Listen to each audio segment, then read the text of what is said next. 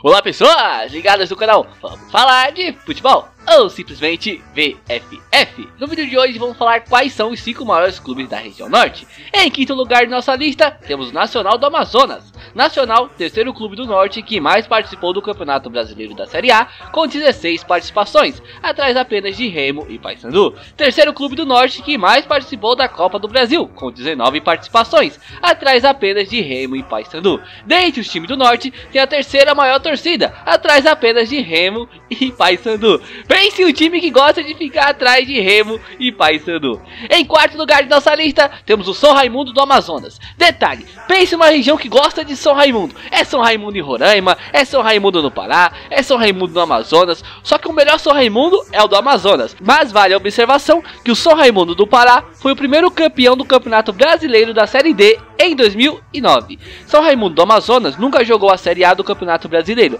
mas jogou a Série B seis vezes. Uma coisa interessante foi a Série C de 1999, onde o clube estava brigando diretamente pelo título da competição com o Fluminense. Inclusive, eles se enfrentaram em um jogo que terminou 0 a 0, resultado que deixava o título aberto. Mas adivinha o que aconteceu? Se você falou tapetão do Fluminense, você merece um prêmio. Como é que você acertou?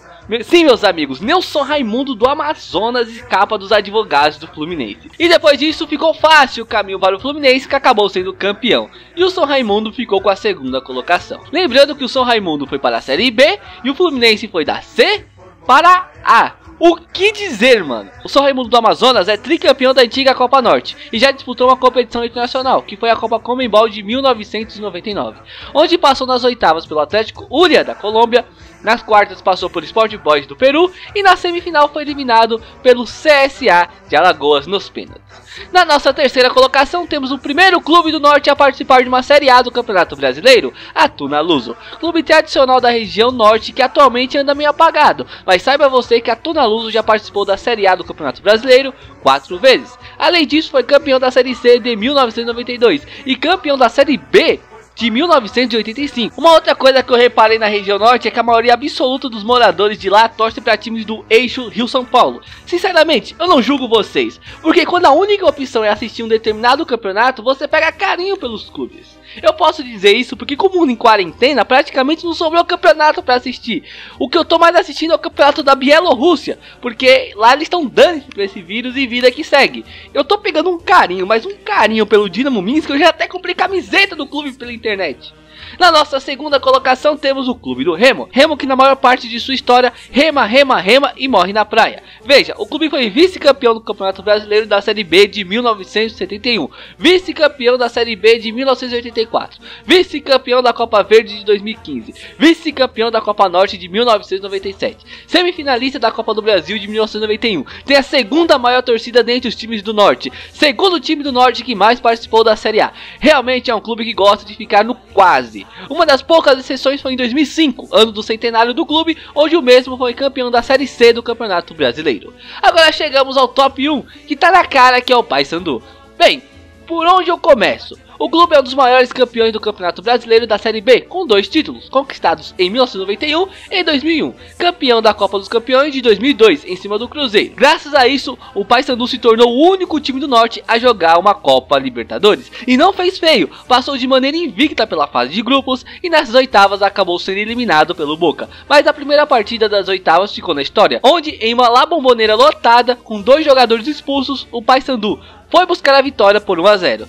Mas essa não foi a primeira vez que o Papão derrotou um gigante internacional. Em 1965, em uma excursão internacional, o Paysandu conseguiu derrotar o Penharol, que na época era a base da seleção do Uruguai, por 3 a 0. Vitória que foi tão impressionante que saiu em vários jornais da época. Completando, o Paysandu ganhou a Copa Norte de 2002 e na Copa Verde o desempenho é simplesmente fantástico. Ao todo foram seis edições da Copa Verde até hoje. Em duas edições o Paysandu ganhou, em três edições ficou na segunda colocação e em uma edição ficou em terceiro lugar.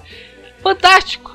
Além disso, o Papão tem a maior torcida do Norte dentre os times do Norte, foi o clube do Norte que mais participou da Série A, enfim, o Papão domina. E antes de encerrar, quero fazer uma menção honrosa a um clube da região Norte que aparentemente tem um potencial enorme, o Manaus. Clube novo, fundado em 2013, mas que em apenas um pouco mais de 6 anos já tem uma boa estrutura, foi vice-campeão da Série D de 2019, recentemente eliminou Coritiba na Copa do Brasil e vai disputar a Série C de 2020. De olho neles.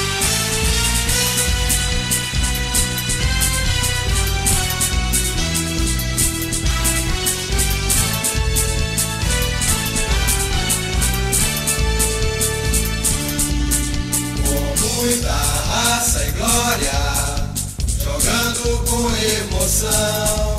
Estou falando do Ipatinga, o time do meu coração. Um tiro garras de aço, pronto pra atacar, representando o Vale do Aço em território nacional.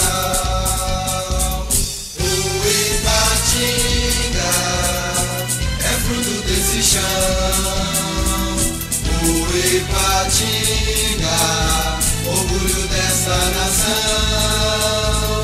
Com muita garra e pronto pra vencer. Com a força de um tigre, nunca vamos morrer. Eu sou Ipatinga, com raça e muito amor.